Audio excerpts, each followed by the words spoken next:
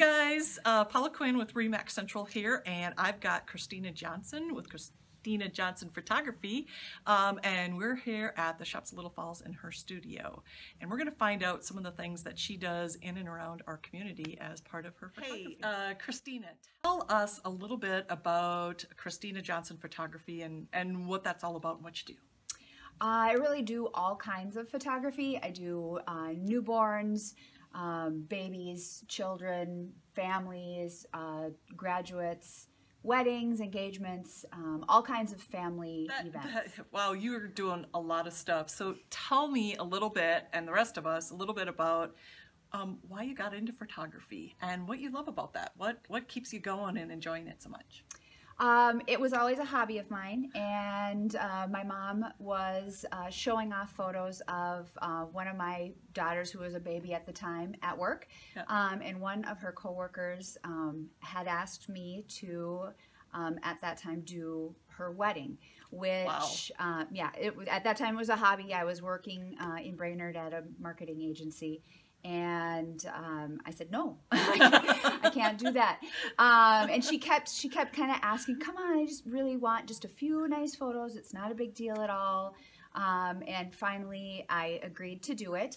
Um, and then I found out that she was having um, six bridesmaids, six oh groomsmen.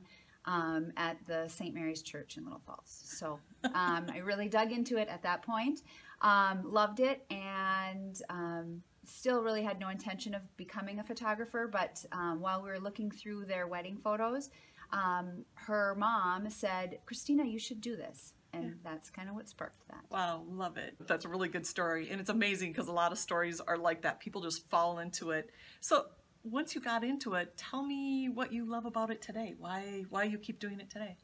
Um, I love I love meeting new people and I love capturing all of their events. I mean, I've been doing this for 14 years, so I've gotten the chance to take uh, photos of families at all different stages when they're um, children Littles. all the way, yep, all the way into high school graduation. Um, those kids have come back and I've done their weddings. Wow. Um, so it's, you know, just having that connection with clients is really my favorite. Living vicariously. Yeah, exactly. so, Christina, I know you've always got a lot of really great promotions going on um, and things that you're doing for photography. Is there anything that you'd want to let um, everybody out there kind of know about right now?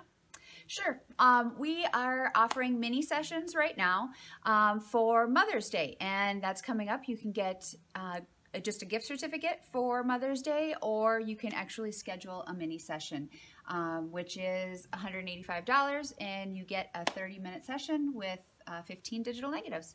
Wow. Um, Mom, hope you're not watching. a lot of great stories there. Um, thank you, Christina, uh, for sharing some of what you do in our community and um, why you enjoy it so much. So thanks. Really appreciate thanks, it. Thanks, Paula.